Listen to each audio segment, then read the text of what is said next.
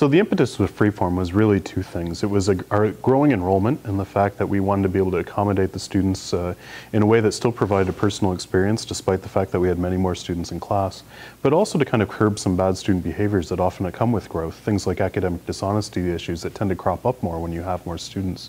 And so to deal with that, we really wanted to take the content that had been out there in the community and make it our own and come up with content that was scalable uh, through the use of multimedia technologies, but also personalized uh, to kind of today's student learners who, you know, really view materials in a very different way than learners of the past, right? They want, they want to be able to engage those materials fully and they want to be able to do it on a 24-7 basis.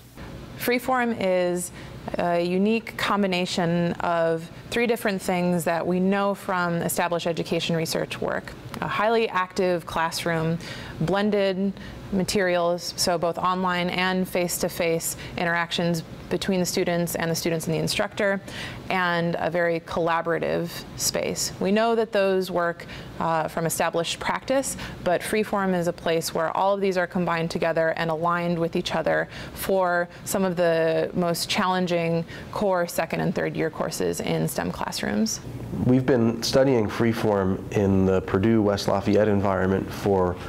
about two years now, and we've added a few partners at other institutions, and that's really important because when we can add partners at other institutions that are different from Purdue West Lafayette in some important way, we get a lot smarter about how students react to the freeform environment and ultimately how they can be successful. The data that I'm collecting is both a mixture of quantitative and qualitative data, quantitative from survey data and concept inventories and qualitative data from interviews that we are conducting with both faculty members and students. The, the purpose of collecting both the quantitative and the qualitative data is to try to determine what factors are influencing student successes in the classes and try to, with the qualitative data and the interview data, to try to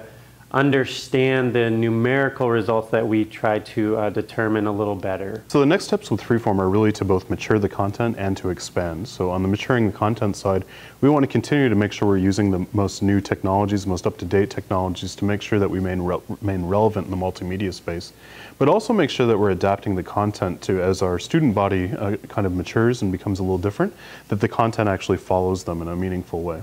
And the second thing is we're looking to expand to other partner institutions and really understand how the freeform system works outside of the context of Purdue University. And uh, that means going to very large research schools uh, that kind of mimic Purdue, but ne don't necessarily have the Purdue instructors, but also going to smaller institutions that are more teaching focused and understanding how these materials fit in those type of contexts. There's goals really on our part and the goals that I would think that new adopters would have in coming into to this space. For us,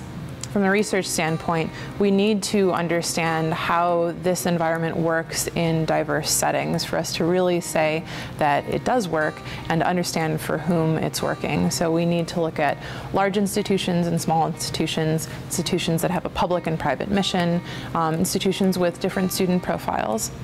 for potential new adopters, think it's an opportunity and uh, um, uh, a goal of theirs uh, to be part of a, a growing community of practice.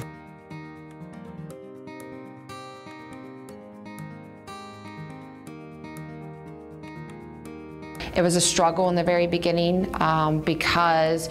it was a different format, um, a little bit different style. However, as the class went on, um, it actually worked out to my favor because it allowed me to have a little more flexibility in my class. It gave my students a lot more resources that they didn't have before and allowed them to do a lot of activities outside of class to be better prepared for the class. One particular case uh, that I can think of that was very beneficial, I tend to do a little more active um, problem solving in my class. So Towards the end of class, my students will solve problems on their own. And with the ability of freeform and having um, problems worked out online, I did not have to stop my class five minutes to go to go over the answer to make sure everyone was on the exact same page. They were able to go home and no, didn't matter where they were in the problem, they were able to follow up outside of class and ask additional questions outside of class if needed, but allowed me to engage my students all the way to the end and be active with them rather than cutting them short in their work process.